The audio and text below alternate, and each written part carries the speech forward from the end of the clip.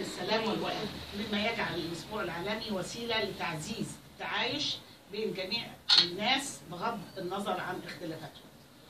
آه، هذا الأسبوع العالمي وسيلة لتعزيز التفاهم والمتبادل والانسجام والتعاون بين الناس بغض النظر عن اختلافاتهم وتشجيع الجمعية العامة لجميع الدول إلى دعم هذا الأسبوع ليه؟ لنشر رسائل الانسجام والوئام خلال اللقاءات والاحتفالات بالمؤسسات المختلفة في المؤسسات المختلفة زي النوادي وجمعيات وأماكن العبادة يعني المفروض أن كل في هذا الأسبوع جميع الدول بمؤسساتها المختلفة تحيي هذا اللقاء.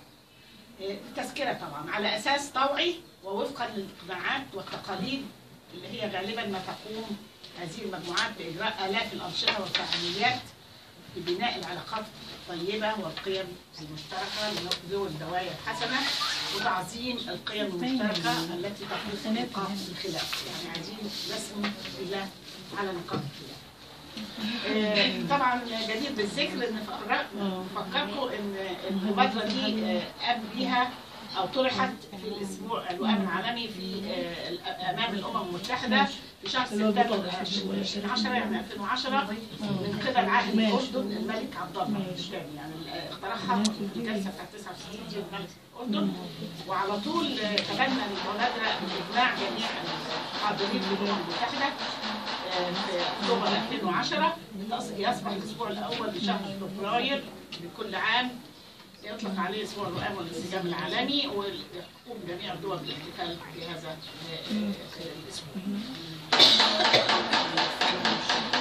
المبادرة الوصيتين طاقة حب الخير وحب الجار بدون المساس إلى أي خصوصيات أو عقائد وتشمل أيضا المبادرات اللي هي فيها أي على كل الأطراف سواء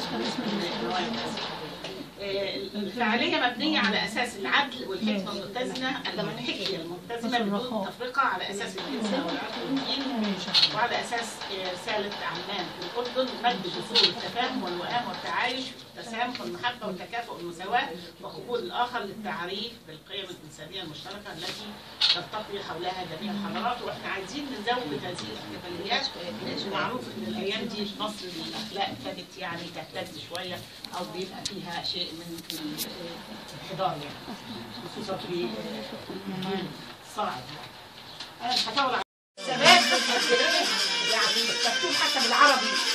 الايج از نوت جاست نمبر جاست نمبر وليس الايج هو دكتورة